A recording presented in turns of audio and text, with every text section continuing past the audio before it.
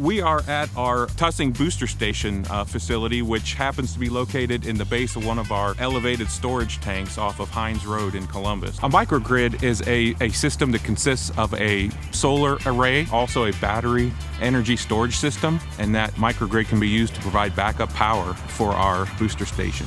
In the event of a power outage, the controller will sense that power outage and it'll switch over to the battery system. We have batteries that have been sized to be able to run a pump for about eight hours to provide backup power. This microgrid project supports the Columbus Climate Action Plan in three different ways. The first way is that we are providing renewable energy and specifically on-site industrial solar. The second way, indirectly, we are reducing uh, greenhouse gas emissions uh, because when we are able to use this microgrid during a power outage, we don't have to bring a diesel engine generator on site to provide backup power for the pumps. And the third way is uh, one of the specific goals in the Climate Action Plan was for the city to install five microgrid pilot projects uh, by the year 2030, and this is one of those projects.